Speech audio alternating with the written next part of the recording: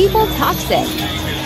Majority of these people nowadays will hate you, watch you, chat you, and get worked up over what you're doing some, for some simple, stupid reason. Let me give you an example. Like, for example, you can be here right now eating your bulla and your pear, mind your own business, and these people will find a problem with you eating a bulla and pear.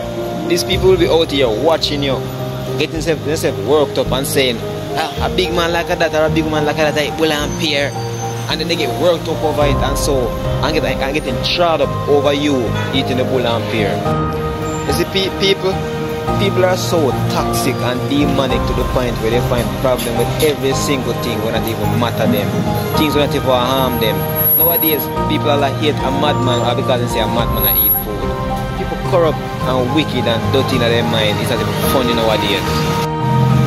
And that's why in this last days people, when you step out here, you ensure that you're living for yourself. Not so much as a selfish thing, but you live for yourself. What on, bro? Hopeful. In this, in this time of age, you can't please people. Don't do anything try to please people. Just keep the most style law in view and don't break man's law so you can't go to jail. What on, bro? When you see these people, don't try to please them. They're corrupt, dirty, and wicked in their mind. And they find problem with every single thing.